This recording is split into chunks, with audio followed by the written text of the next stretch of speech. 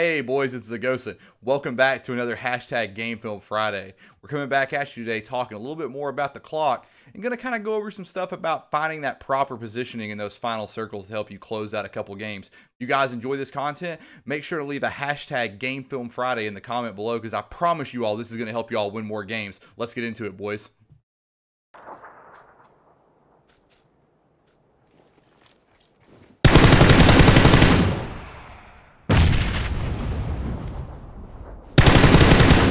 Always thirst because you don't want to be able to call your position out.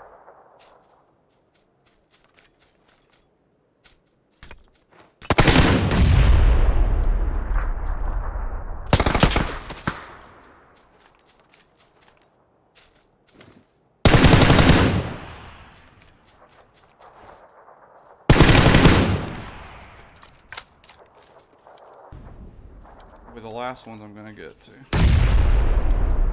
This right there.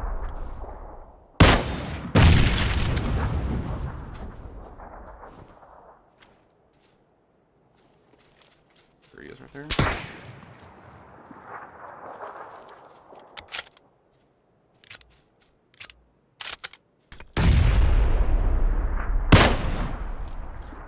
No, not like this, not like this game, not like this.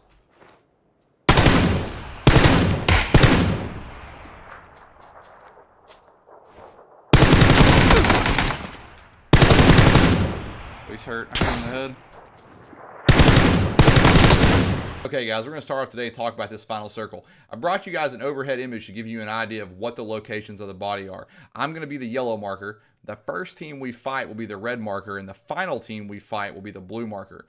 Right when you go into this video, I am killing the guy that is this top red marker here, and the blue team has just finished off a guy in this green building. Okay, boys, let's get into this video. We're going to talk about it. The first guy we're coming up here right now, we're going to see an easy knock on this first guy pushing into this circle.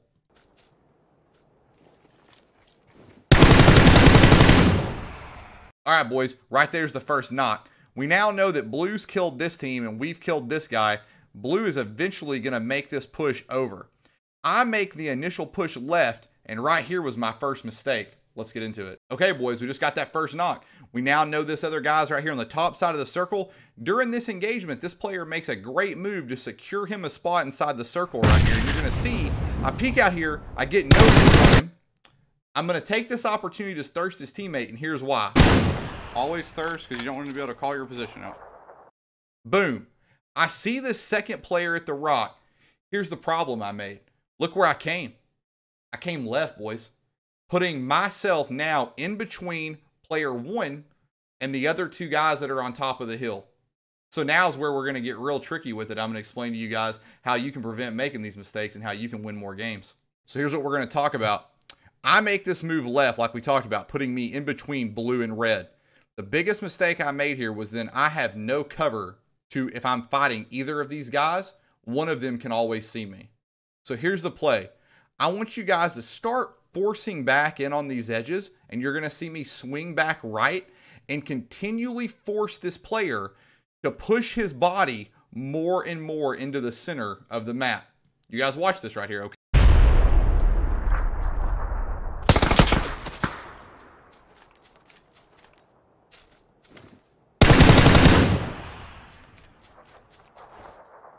So notice this. I've now worked all the way around on this gentleman. I have him on the west side of the tree, which he's completely now exposed to the south to this other team. And watch me force him to take this fight in an easy one-on-one -on -one situation. All right, boys, so here it is. We make this move around to the right, continuing to force him left. He makes this move left, and once he does this, he's dead. He's now stuck behind a tree here, I have full cover due to a rock that it keeps me coverage from the blue team, which is now moved in to take position on this side of the road, and one of them is now taking position here. This guy has to peek and take this gunfight, which leads to a leads to that next elimination. Now we're going to talk about closing the circle in on the last two guys. Okay, boys, at this point now it's a two on one, and we're going to do this on a breaking that clock down situation.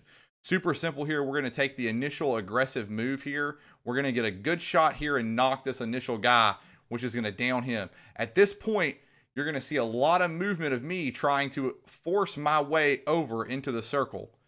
This guy here in front of me takes a couple bad shots, misses some couple shots he probably shouldn't have missed. But we're going to get lucky here. We're going to get repositioned here and then get ourselves in a one-on-one gunfight. We're going to be able to finish out this match. Y'all enjoy. Gonna get to. Right there, boys. We spot this first initial guy out at the tree. Again, working that clock, making sure we're clearing all structures the farther and farther we go in. This right there. We get our first initial knock. Super simple. Now, like I talked about, we're going to wrap around that circle and try to work our way in, keeping ourselves edged out to this guy as best we can.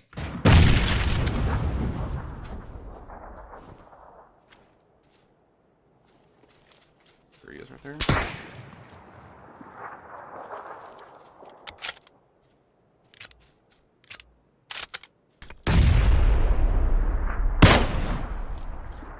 No, not like this, not like this game, not like this.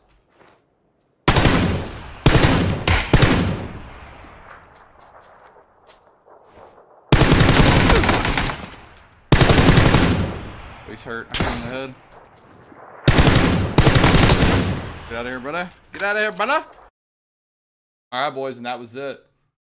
Simple move there that I really think you guys can really, really increase your win percentages by making sure you're thinking about this. I see so many people that have great games. They get to that final circle, they either push the center real early, they get exposed to two guys coming from both directions, or they don't position themselves appropriately to where they make that other team have to fight both of you at the same time.